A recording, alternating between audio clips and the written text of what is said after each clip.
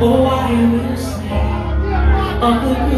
Now to make up myself, MJ Taurus right representing the silver inch, but I'm trying to stock in on more niceness. I'm personally tight and I'm my blessing. You can't